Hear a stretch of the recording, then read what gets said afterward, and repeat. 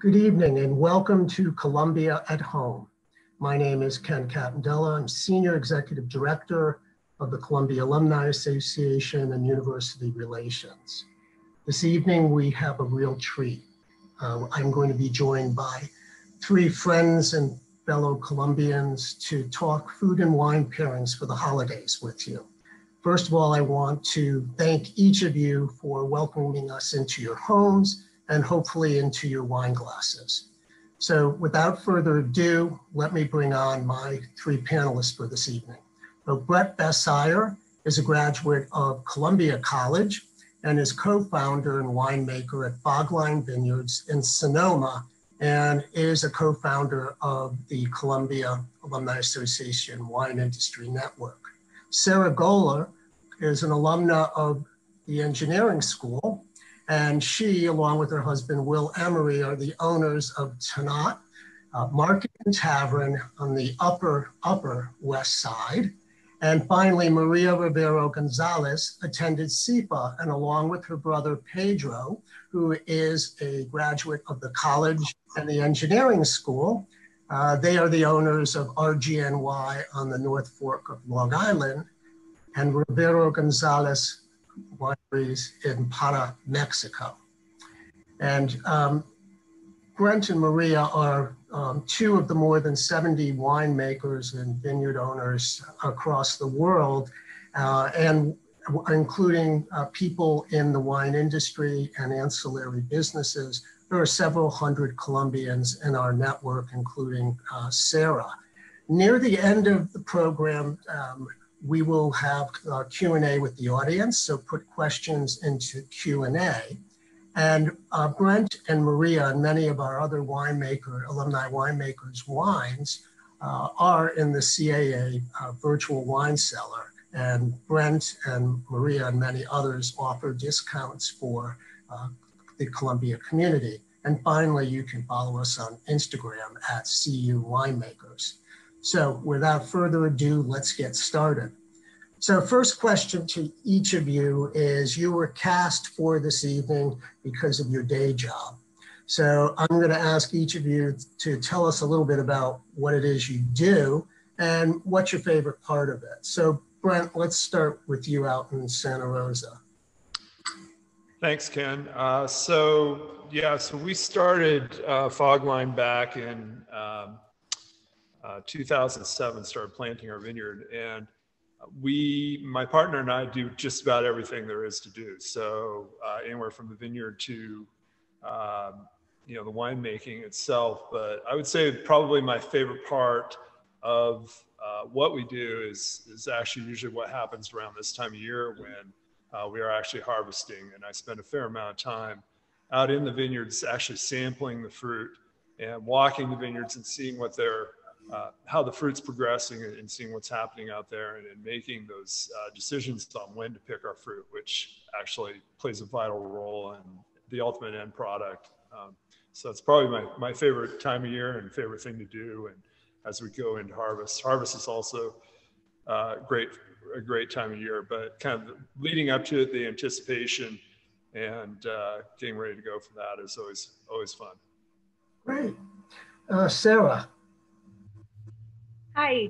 So um, I opened Tannat back about almost three years ago with my husband, Will.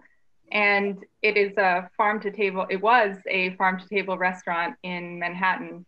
And during the pandemic, we shut it down and turned it into uh, a grocery using all of our local uh, farms. And it essentially is a private uh, grocery store where you can make an appointment to shop and you can buy all of our local produce and also um, we have a focus on natural wines, which is really one of the things I'm really interested in. So I'm also the beverage director and I select a lot of natural wines and I've had uh, Maria Rivero actually has come to Tannat and showcased her wines um, at a dinner and so, one of my favorite things about what we do is learn. I, I love to learn about wines and I love to teach other people and help them find things that they themselves would love. Um, and actually during the, the pandemic, getting to know people and having them come in and try things and then, you know, buy bottles to go and then come back the next week and say, oh, I really love this, or this wasn't quite my thing, and sort of helping them find what they enjoy the most and figuring out how to get them there was is been really fun. Great. And Maria, I'll go to you. Hi, Ken. Thank you. So I manage the family wine businesses both in Mexico and now in uh, the North Fork. We we bought the place two years ago, so it's been quite the adventure coming into the North Fork, uh, especially launching the brand a year ago with the pandemic. We do certify sustainable low impact wines. So that means the less we add to them, the better. We try and, and be uh, very um, real with what we do. And um, we're also a lot into innovation with the brand. So we love, I love, the part that I love the most is experimenting with the the using different grapes or, the, or using different uh, winemaking techniques with some of the grapes. We also take this innovation through the experience in the tasting room, and we do things like the blending sessions where people actually learn how to blend. And uh, all of this learning thing that Sarah's saying, I think people, the more they learn about wine, the more they enjoy it. So we try to look for different approaches and make make wine approachable for everyone, so they can enjoy it a little more uh, and just being out there, as, as Brent was saying, the harvest season, just being out there is really refreshing and it beats staying in an office any day of the year, right? Wonderful. Um, and we, you know, build this as a opportunity to talk food and wine uh, for the holidays. So uh, first question to each of you is, you know, now that we're, we're a week away from the beginning of the holiday season, what are your go-to reds and whites? So Sarah, I'm going to let you kick this one off. Um, well, I love the classics. I love Pinot Noir. I love Chardonnay, um, especially for something like Thanksgiving. I think they're really just fabulous. But I also like a lot of the weird grapes um, from lesser known regions and skin contact wines, also known as orange wines. Um, I kind of love all the individuality that each grape can have and how each winemaker turns it into something that's their own. Great. Okay, Maria. Um, more than a red or a white, I'm going to say blanc de noirs. Um, I really think uh, using red grapes to the whites is uh, it, it's very interesting because then you have as a result a wine that has a very nice acidity and freshness from it be, being a white, but also they have uh, more of a body to it and they can really withstand anything. So, being the holidays, everyone wants to drink, right? So, you want something that won't get boring and that you can keep drinking, but it's flexible enough to eat and enjoy. So, Blanc de Noirs are my go to during the season. Okay, great. Go ahead. Yeah, so we um, always have some Pinot Noir and Chardonnay with our, our dinner. Um, I tend to pop open a bottle of our Zinfandel before dinner as I'm cooking. Uh, I find it's, well, it's kind of going backwards in a way to go to Pinot, which is a little bit more elegant.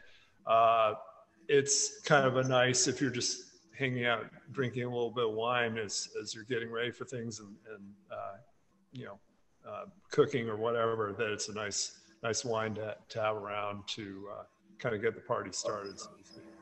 Okay. Um, for me, it's um, the one time that I think about, you know, warm and comfort. So um, I'll start breaking out uh, Cabernet Francs uh, as a red and uh, Chenin Blancs uh, for whites um, because it, they really tend to uh, go nicely with things that I'm uh, preparing this time of the year, but also uh, they've got some weight and depth to them that I like in the winter time. Um, and then uh, how about celebratory and sweet wines? So um, Maria, I'll let you kick this one off. Um, I love I love traditional white sparkling champenois method, but I would I, I try and not go for champagne only because I want to try something different. And I think nationally in the US, there's there's a lot of great sparkling whites being done right now. Uh, and I also love the more um, pet nats that are being done a lot right now because they're so light and easy to drink. Uh, and you can also find them in a lot of like versions from the natural one to the more traditional ones. Mm-hmm. And um, a little bubbly is always good for celebration, right? Yes. Yeah. Um, Brent. Yeah, I, I, kind of would echo what Maria was saying that the, we're actually seeing a lot more sparkling being produced here in Sonoma County. Uh, we're kind of in a prime area for Pinot Noir and Chardonnay. And um, there are some custom crush facilities that are doing uh, sparkling. Uh, so smaller producers can now start, you know, taking their fruit in and, and making uh, some really nice sparkling wines from, from some pretty tremendous fruit. Generally, these are, you know, grapes are picked earlier in the harvest season, um, so lower sugar to get the, the sparkling wines that they produce. And, um, you know, we, we, uh, the family wine is still Schramsberg Blanc de Blanc. Um, we drink a lot of that. Uh, usually it's kind of the, the pre-dinner uh, or beginning of dinner kind of thing. Uh, we'll break some of that out and then uh, you know, a lot of people talk about like a dessert wine for a finisher, but you know, I actually like sparkling to finish to kind of give you that break, and break up. Um, you know, maybe the heavier foods at the end of the evening and kind of cleanse the palate and get you ready for for your dessert. Um, so it's a good time to to kind of pull out a sparkler then as well. Okay, good, Sarah. Well, I agree with both Maria and Brent. I love sparkling pet nat champagne, champenoise, all, all the sparkling. Um, in terms of champagne, I think Doyard is beautiful. Um, but if you're also looking for sparkling that's less expensive, the Loire Valley is creating some very beautiful sparkling in a much more economic price range and super beautiful. Um, also, if you're going for a dessert wine, not necessarily for dessert, but um, Saussignac is a really wonderful alternative to a Sauterne, which is more traditional from the south of France. Um, but I agree with Brent, you could uh, have bubbles before, after, during, always good.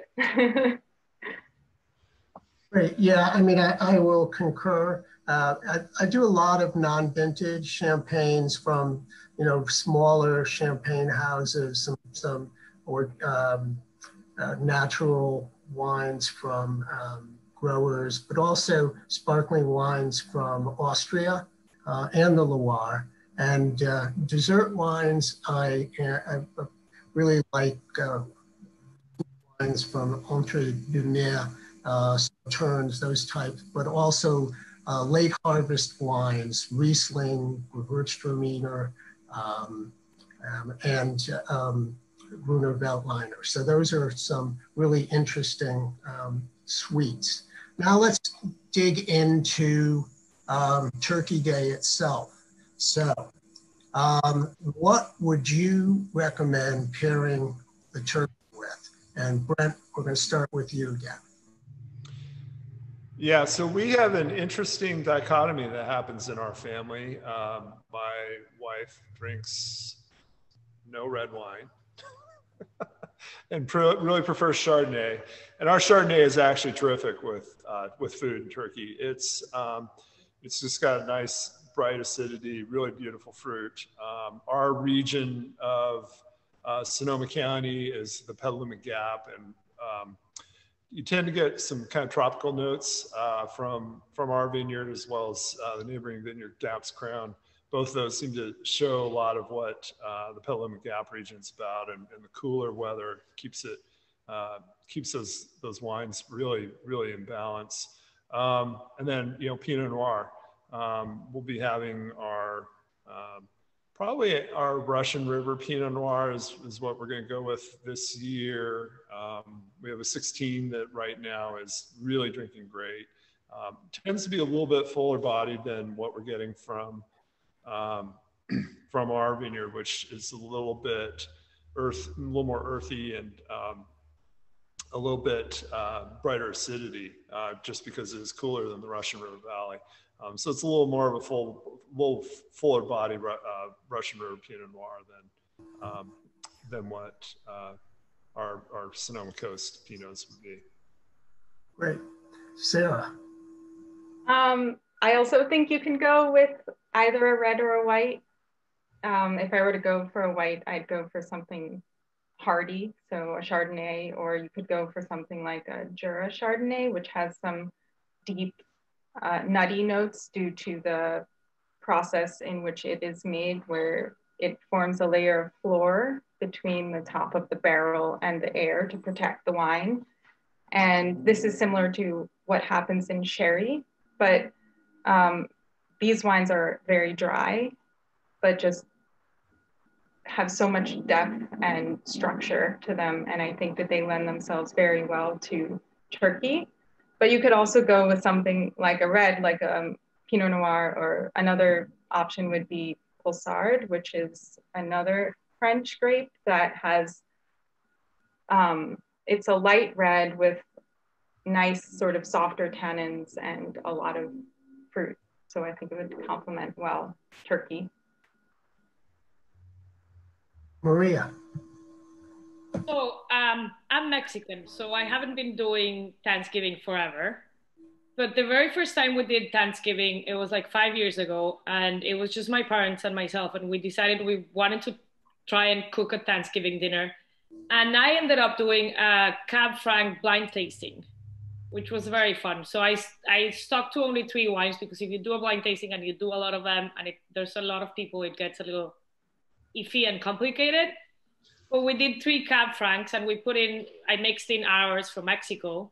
And uh, I really like the cab franc because it's, it's very, the turkey has a soft, light texture to it. And the cab franc is very elegant, but it's also soft and uh, complex enough in the nose that it, it pairs very, very well. And uh, it's it was just a fun activity to do it with three because then we got to see the differences between uh, regions. As brent was saying a pinot noir is not the same one region to the other right? Uh, but yeah i mean i think i think we need to stop being afraid to pair things with white red rosé. I think if wines are well balanced and have a good acidity to it they can really be flexible with food so if you look for a good acidity in a wine, you you can't go wrong, and then it just depends about the flavor, how you're cooking the turkey, and all of that, right? Great. Um, you know, Brent knows this. Um, I come down on the Zinfandel side for um, for turkey, um, and then if this, the second bottle will usually be from uh, the southern Rhone, so probably a Chateauneuf de Pape. Um, so Syrah, Grenache, Mourvedre. And uh, again, Sarah, uh, hardy whites, um, you know, full bodied. So um, we tend to do things like Grenache Blanc or uh, Ribolla. And I, you know, Ribolla, it's an interesting consistency uh, that I find pairs really, really well, surprisingly well with turkey. Um, so let's move on to sides now. And so Sarah, you're up first give us the side and then give us the pairing. Okay, so I guess it's getting kind of obvious that I like all the strange grapes out there. Um, so I guess it's no surprise that I've done the same with the pairing that I've made, which is I like garlic mashed potatoes, um, which I actually sent out in your uh, recipe list. Uh, and I would pair it with a Slovenian grape, a white grape called Zelen, which has just it's it uh actually if it's aged um, and it has some skin contact, it actually can have some of these like sweet potato notes. So you can imagine that even as a fresh wine, it would pair very well with mashed potatoes. Great, Maria. Well, I mean, Uh, I really like the green bean casserole.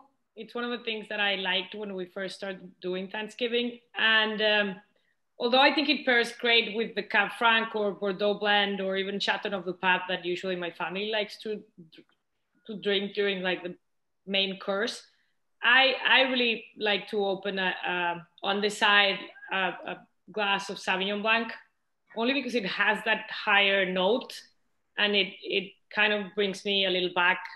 I love the reds, and I think, as you said, Ken, it's it it's the first time of year when you want to feel something a little cozier and like a hog with this uh, cozier, bigger reds.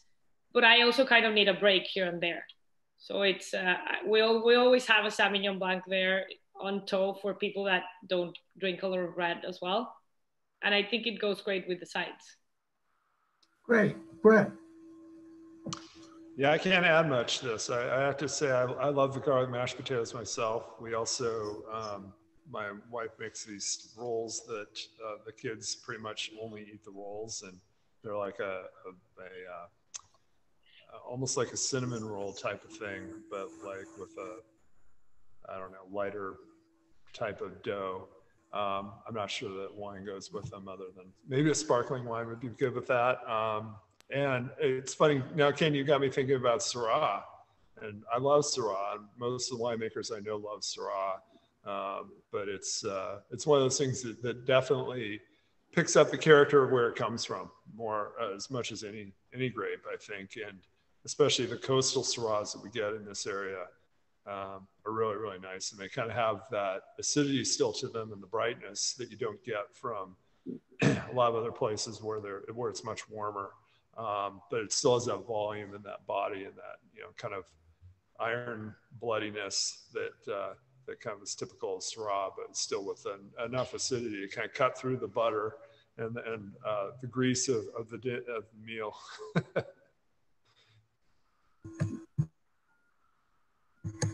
and um, my side is roasted uh, yams with pancetta and so a little black truffle. Um, and so um, I'm not a stuffing mashed potato person, so I, you know, I, I experiment with some other kinds of things. Um, but if you're doing roasted yams or something like that, I find that uh, white Rioja or uh, pecorino, which is a grape uh, that's pretty much indigenous to Abruzzo uh, and Le Marche in Italy, uh, and both are, you know, reasonably priced, and uh, they they really pair very well with the with the fattiness of uh, the pancetta um, and the truffle. Um, and so then that will move us if you if you still have room for dessert. And so I think Maria, you're up first on dessert. But first, I want to say after after you decide, now I want to have Thanksgiving at your house. I agree. right? uh, so I don't I don't know what the usual desserts are. I get very confused because there's always so many and and everyone does like different things also depending where you are I guess. But I always find that there's chocolate on top. Like there's always something chocolate, right? Either if it, even if it's just like pieces of chocolate that you'll have after. Because what I do know it's Thanksgiving people like to eat and it it's like never ending feast, which is very nice. So I, I kind of like to end on, on that hog note and, and go back to those um, Bordeaux blends. We the, the very first wine that we did in Mexico was our Bordeaux blend, and now we do one here in the North Fork as well. And uh, I like just taking out all vintages and end the note with like an old vintage um, Bordeaux blend or maybe a Châteauneuf-du-Pape that my mom loves with some chocolate, and then it's like that big hog. If there's a fire, then even better, right? Right. Brent. Yeah, so we do uh, pumpkin pie. We're very traditional here, um, and also date nut pudding.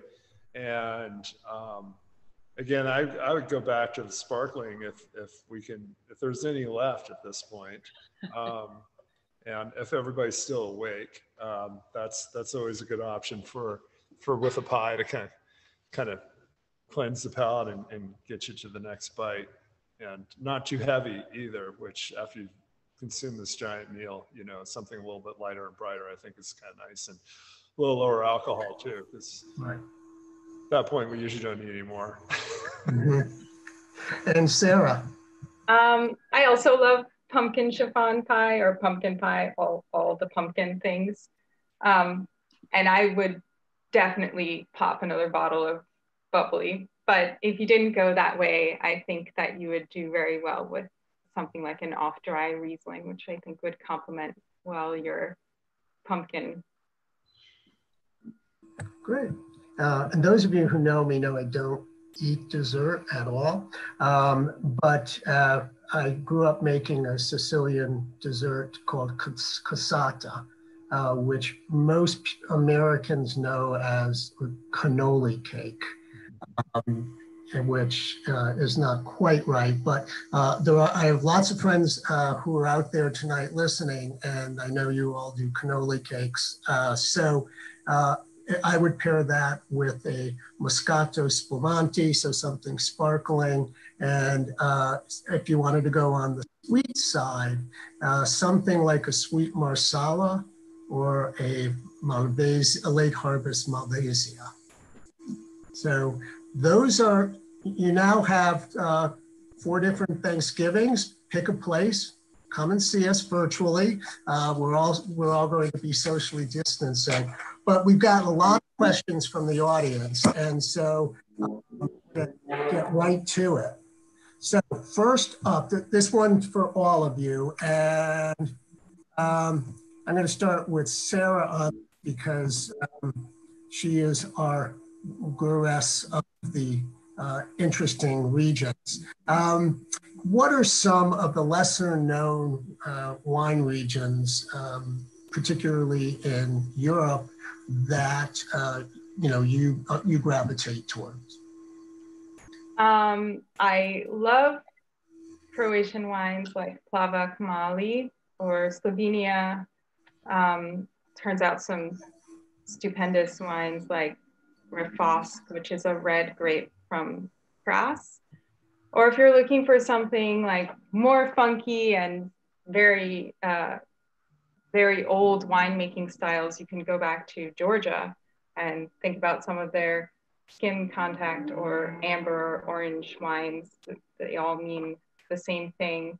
Um, and you can look for things like Kisi or Mtsvane or Rkatsiteli, and those wines have so much texture and history and um, you can taste a lot of them are done in a traditional method uh, where they ferment them in these very large clay pots called qvevri which are buried underground. And you can taste the dustiness on the tannins uh, from the, the clay pots and it's it's just really amazing Good, Maria. Um, How about Parras? well, I mean, I have to say Mexico because a lot of people don't know this, but Parras is the oldest wine growing region in the whole continent. So wine wine started there in 1497. Uh, the Jesuits came and they found uh, Parras. So Parras means vine in Spanish. And uh, really, I think we've the last 30 years, Mexico has excelled in doing um, red blends, a lot of Syrah, especially in Parras. You were mentioning Syrah, and it really it, it gives a very bold expression of the Syrah. Um, and uh, everyone thinks tequila or mezcal when they think Mexico, right? But we are we are doing great fine wines, and um, I love Uruguay as well. Tannat is a grape that not a lot of people uh, maybe know, but it's uh, it's also very rich and very uh, round, and um, I, I drink a lot of that as well. So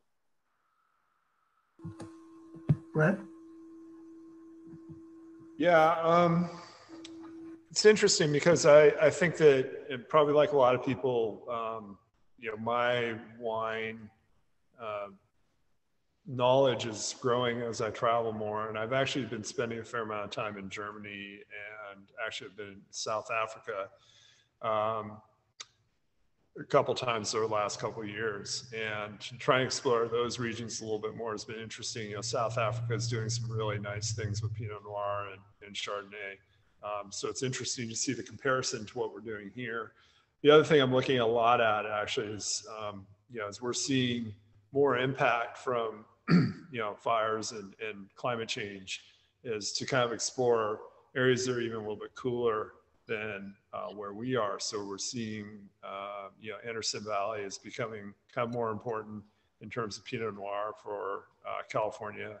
And then uh, as you go further north into Humboldt County, um, which is known for some other products, but uh, they um, there's starting to be some vineyards planted up there that you know definitely have that coastal impact um, and have been escaping some of the the impact from smoke and so forth that we've seen over the last three years. So um, the, we're kind of exploring those areas a little bit. We're kind of seeing what some other people are doing from up there. Um, it seems like most of the winemakers that are up there are not maybe getting the results that um, we'd like to maybe see, but it's kind of one of those things also that you have to see how the wine uh, matures. And um, so those are areas I'm really interested in right now, uh, especially as we look at um, expanding outside of our immediate area for, for grape sources.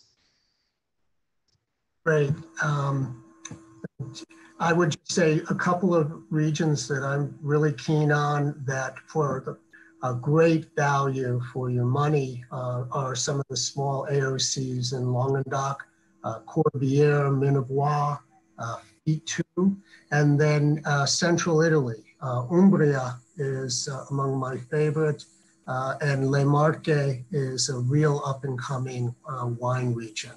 Um, so now some other questions. So Sarah, um, and I'm going to ask you guys to go quick only because we, we got so many questions. Um, some pairings, wine pairings for vegetarian Thanksgiving uh, or uh, plant-based product, uh, plant-based foods.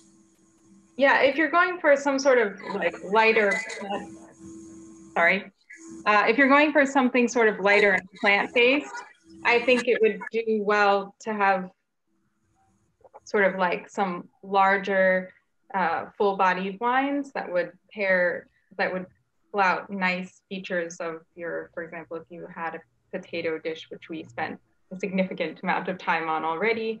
Or if you wanted to have something like sauteed greens, then I think that you should pair it with something um, floral and with nice acid and hopefully some sort of acidity and um, salt. And I think you would do well with a wine like Falanghina from Italy. Um, yeah, I would say go for something sort of light and bright for something that is based on grains or uh, greens. Great. Uh, Maria, we have a question, uh, and since you make a Riesling, uh, what are some great pairings for dry Rieslings, food pairings? Um, I think Riesling is actually very versatile because it's dry, but it also has a nice sweetness, especially in the nose, the aromas. Uh, I like to pair Riesling actually with desserts, something tarty like an apricot or mango tart. It, it becomes the tarty, it, it becomes a very uh, complementary pairing where tart meets tart. So it, it's, it's very explosive and very strong. Great. Um, Brent, we have a question about uh, old vines in versus Zinfandel? Is there a difference? Um, this individual says that they like old vine Zins, but not necessarily Zin itself. Yeah, that's that's an interesting question. Um, has a lot of angles to it.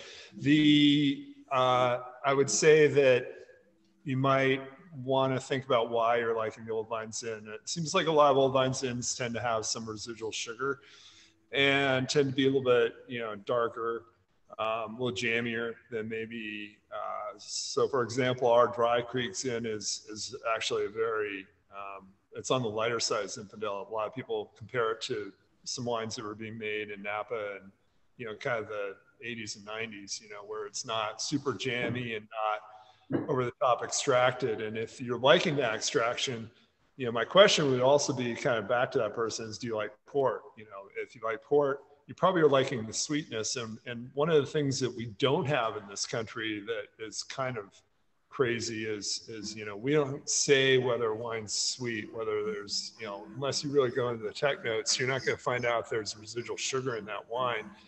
And so what I would recommend to somebody like that is, you know, go to your local wine shop and tell them what you like and why you like it if you can figure that out and um, you know they can point you in the right direction. I mean, we have we have had periodically wines. We had an old vine Zin that you know it was significant amount of residual sugar, and uh, we always said, well, the good thing about the residual sugar is that it hides the uh, the alcohol, which was like 17% at the time. So definitely much bigger wine. yeah, until the next morning when you realize it didn't hide it all that well. Um, yeah. Um, so, oh, here's a question for me because I think I mentioned uh, Cab Franc. What are your favorite Cab Francs? So, um, I love Cab Franc uh, from Loire, um, from uh, Tus- the Tuscan region of Italy are making some incredible Cab Francs right now. Um, and there's a really good one that I have fallen in love with on the North Fork. Uh, from RGNY. Uh, so if you want one, I, I, probably, I think the finest example of a Cab Franc I've seen uh, uh, from the North Fork. And then the next question is, um, and Sarah, you can take this one again. Let's keep going quick. Uh, what's orange wine? Orange wine is a skin. So basically, you take white wine grapes and you ferment them on the skins. So you pull out a lot of the tannic structure as well as uh, often color. And that is the reason that you get different hues like orange or amber or salmon or other such colors that you don't expect, but you also get a deep richness to the wine that you don't find in, um, it, it brings out a whole other flavor profiles that you don't find in just general white wines. Um, so they're kind of the white wines of the red wine world. That's a good way of putting it. Maria, uh, some affordable wines from Mexico. Uh, cielo. uh, Monte Xanic, you can find Monte Montechanic here in New York as well. They do a great uh, Sauvignon, a great Chenin Blanc that I love, and a great Merlot as well. Um, I think the, those are the ones that you're going to find in the States for now. We're doing a big push and effort to bring more. Uh, fortunately, all of the Mexican wine right now is being drunk in Mexico. Uh, but I, I think it needs to go out and conquer the world a little more. Okay, good. Um, Brent, what wines do you pair well with uh, gamey meats like uh, Yeah, I would say Zinfandel goes really nicely with that. Um, also, the Syrahs that I was talking about, we do um, we do an old vine Syrah that comes from the Grist Vineyard up on top of Bradford Mountain. We only make a couple barrels of it a year. There's uh, they're supposed to be the oldest Syrah vines, possibly even in the entire country, and uh, makes this fantastic wine that I honestly don't care if we sell. I'll just it's you know two barrels, I can drink that. Um, but I think that it, it, there's enough, you know, acidity to that that and, and, and the wine is interesting enough that it can compete with with those kinds of uh, pairings. Great. Uh, question, uh, can you give us a few super Tuscans? So I'll take that one. At the highest end, um, my favorite is Sassicaia. Um, and then if you if you started to go into the middle a little bit, there is a wonderful, wonderful uh, um, vineyard called Podere Forte, and make some extremely exceptional um, Cab Franc, Sangiovese, um, Super Tuscans that are outstanding, um, and um, Altovino is also a great uh, buy. Uh, it's uh, Dumani is the uh, winemaker. Uh, they're very pricey, except as Altrevino is a um, middle class budget, uh, really fine example of um, Super Tuscan. And then for under $12, uh, Monte Antico, which you can find pretty much anywhere. Uh, it is Sangiovese Merlot and occasionally a little Cab Franc. Now, next question. Um, Sarah, can you recommend some orange wines? Sure. Come on up to tonight. I have a lot. Um, there's a lot of really cool orange wine coming out of Oregon.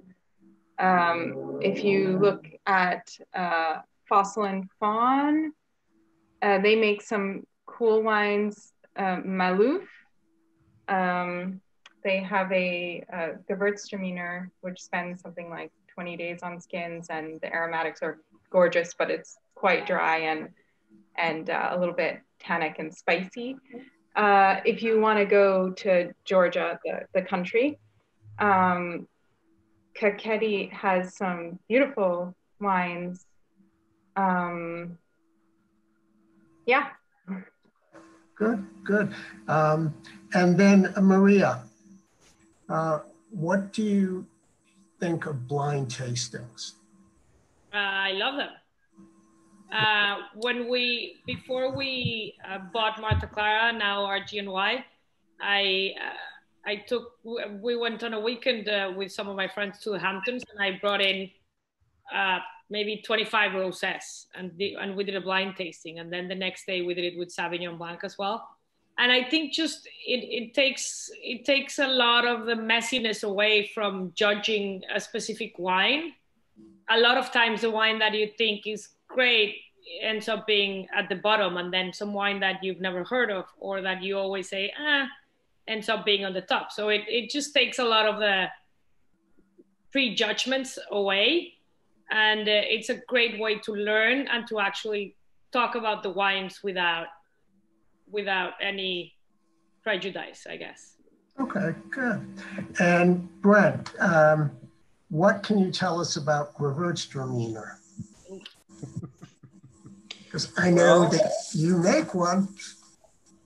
We did make one, yes. Uh, I like Gewurz a lot, but it's um, getting harder and harder to find. Actually, our source was uh, here next to our winery and got ripped out by the uh, owner of the vineyard. Um, we also just became aware of one of the other vineyards we work with that uh, just ripped theirs out too. So it's a challenge because um, for hopefully this isn't what we're seeing happening to Sonoma County, but um, you know what's happening in Napa is that you know you, are seeing single varieties of grapes over there growing where it's all Cabernet, um, and I worry that we're starting to see a little bit here in Sonoma County where everything you know because Pinot is kind of becoming the king, demands the most price.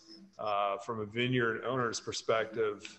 Uh, a lot of people are just not willing to grow something that isn't going to uh, you know yield them the greatest uh, return on their investment so um, but yeah nice dry Gewurz I like a lot I think it's a really interesting grape and um, it's kind of fun to see what it what it turns out to be we barrel fermented ours and uh, I think it turned out pretty nicely yeah and I think uh, Alsatian Gewürztraminer still are sort of the uh, standard. And what's nice is you can get them at reasonable price points. Uh, you don't have to pay Grand Cru money for it. Uh, next question, Sarah. Um, what would you recommend wine-wise for cheesy Netflix holiday movies and pecan pie?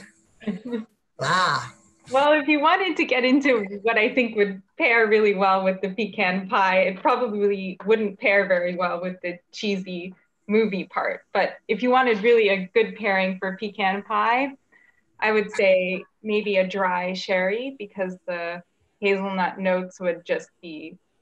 Oh, and I see a Fogline. Um, I can't read it from here. Uh, but uh, I I think a, a sherry or a vin jaune would be gorgeous, or a Zinfandel from Fogline, or any of Maria's wines. Um, but I also think if you if you just want to have a good time, uh, like a Provence rosé would be, uh, or just a nice high acid rosé would very well go with Right. the pecan pie. Okay, Maria, what do you think is the, and I'm going to ask each of you really quickly to answer this, uh, major difference between um, winemaking in the US and uh, the old world? Oof. Um, well, I guess not having a lot of rules in terms of what the label has to say makes it maybe more complicated for the customer to understand, but it also gives us uh, more freedom to play around with. Um, I like the old world personally, so we we do a lot of those things. As, as Sarah was saying, we're we're doing um, clay this year, both in Mexico and here, doing orange wines. So Sarah, when they're ready, I'll let you know. Um, but I, I just think winemaking is, and you and I have talked about it, Ken, it becomes this huge matrix when you can add so many things to it, and that's why it keeps us entertained, right, Brad? Yeah, um, I think it's interesting though that you, you know, people delineate it because I think that there's there's influences both directions, and I think that you've seen, especially in Italy, you know, we hear about a lot of Italian winemakers coming over to UC Davis and learning how to make wine the UC Davis way, and I think it's it's, I, in my opinion, it's improved their wine significantly over there. Um, the you know I've worked with winemakers from all over the world in in uh, the custom crush facilities I've worked in. It you know they're they always the guys from you know France or or uh, uh, Italy will always have things that they're like, oh, you can do this here, you can't do that here, you know, and it's it's it's interesting to hear the differences, but. Um, I think that there's there's starting to be more and more overlap, and um, so I don't think that there's necessarily clear delineation between the two uh, for certain countries. Yeah, I mean, we have uh, one of our uh, Columbia winemakers, Mark Tarlov, is making uh, as Burgundian a Burgundy as you can find uh, in the Willamette Valley. Uh, he did a blind tasting of some of his against Grand Cru Burgundies with Burgundy collectors. It was pretty remarkable. So I, I, I tend to agree with you. Sarah, I'm going to pivot. Sorry. Um, um, here we go. Pairings with Christmas cookies. Are you switching? Am I supposed to answer Yeah, that? yeah. Come on. Christmas cookies. What is your turf, Sarah? Hmm. Well, would probably go with something funky if my cookie was bland. Um, or something kind of bright and light. Um, I'm not sure. It would probably depend on what I wanted to drink, and I would think of the cookie as an afterthought. Uh, you know, an off dry rose, you can never go wrong with cookies. Um, this is from someone who doesn't eat cookies, but um, that would be uh, that would be something. Um, what is your, and this is for all of you, and I'll let you start this one, Sarah, because you actually are pretty much an expert this. What is you? What is your sort of go to at twenty dollars or less? Um, so we have a lot of really great wines in that range. And uh, I mean, our house wine for a very long time when we were a restaurant was um, from Spain. It was called uh, Ablo, and we had a Grenache and a Verdejo. And they're, it's actually a great story, but there's three brothers and they grew these vines organically and biodynamically. And then they called in Juan Antonio Ponce, who's a well-known winemaker from Babal that makes the Babal wines, and uh, asked him to like, hey, could you like help us out and to make wine? And um, it's sort of his side project, and they're just like super easy drinking, and they come in a liter bottle, so they're just some of our we've we've emptied out the warehouses in the U.S. Uh, Maria?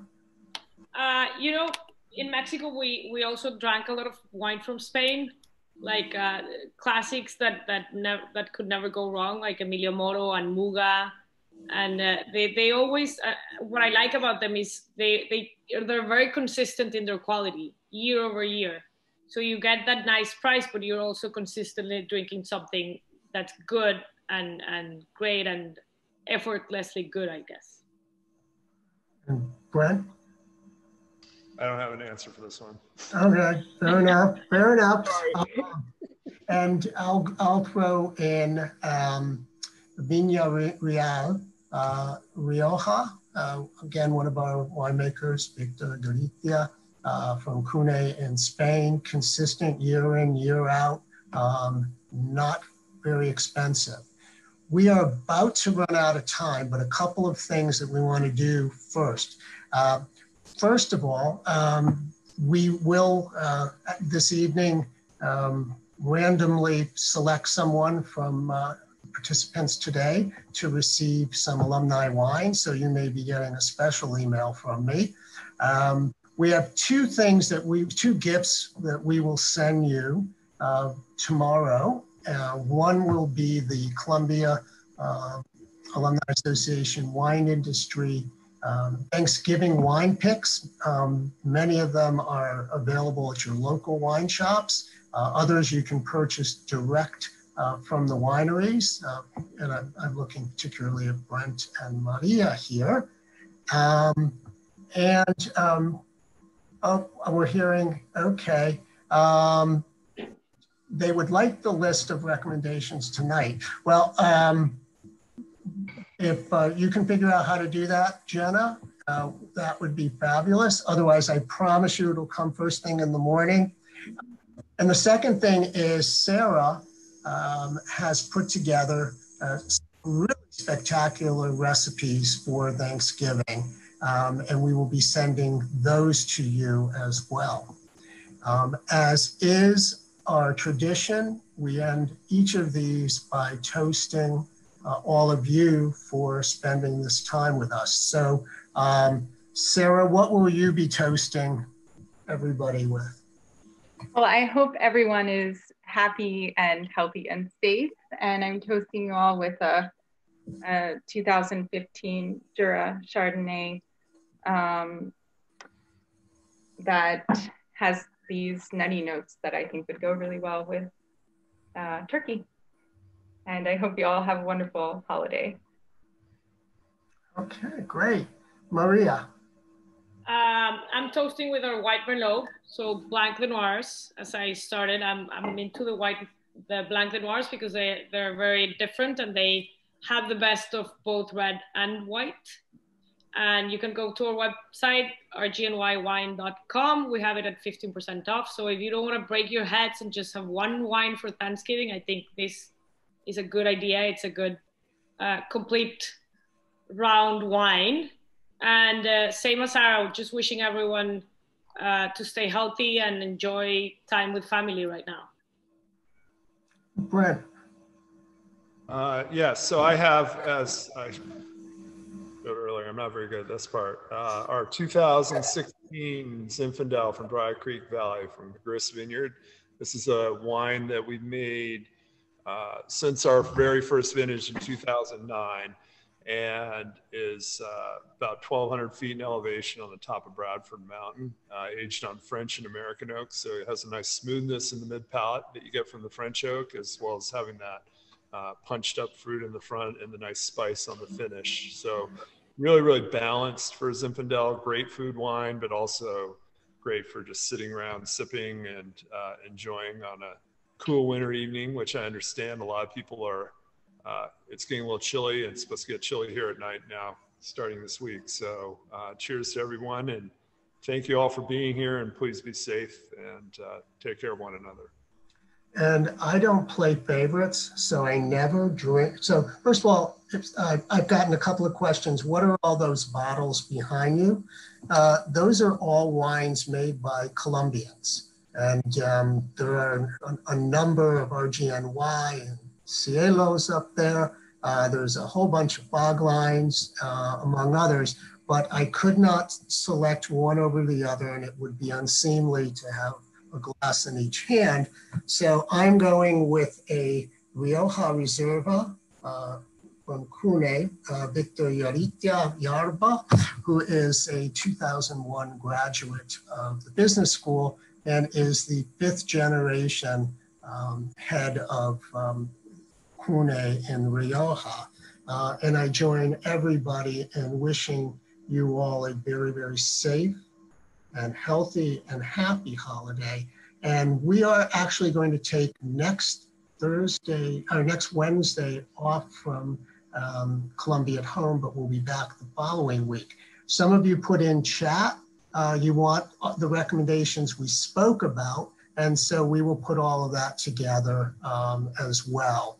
Um, and you should feel free to uh, email us if you've got any questions and we'll be happy to respond to you. So good health, much happiness and happy Thanksgiving. And thank you guys for doing this with me. It's been a lot of fun. Thank you. Cheers. Cheers. Thank you. Thank you, Ken.